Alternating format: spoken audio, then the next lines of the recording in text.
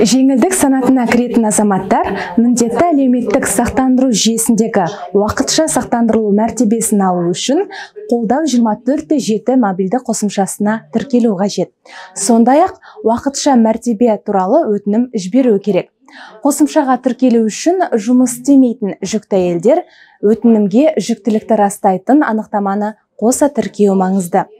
Ал балалар туу туралы куәлігін сондай ақ жұмыссыз ретінде тіркелгендердің жұмыссыз екенін растайтын анықтамасы қажет.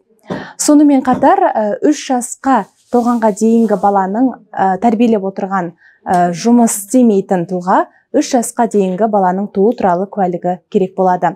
Ал студенттер үшін өтінімге оқу орнынан анықтаманы қоса тіркеуі тиіс.